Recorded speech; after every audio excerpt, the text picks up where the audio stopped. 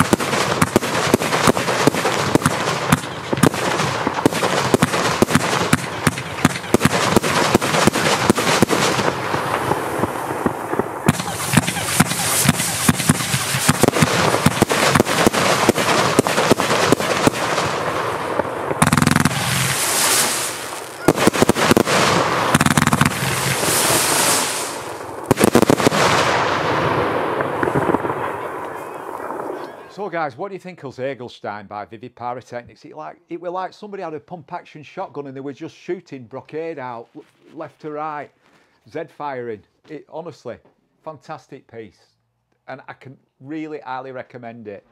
And um, it's available on our website. I've left a link down below. Click on that link. It'll take you through to the website if you wish to purchase it. If you're passing by our shop, you wish to call into our shop, then it's available in shop to buy. So once again, guys, thanks again for watching. Have a safe and wonderful bonfire night. And guess what, guys? Don't forget, please like, please subscribe, and don't forget to hit that notification bell for more up and coming UK landed product videos like the one you've just seen. And I'll see you all in the next one, guys.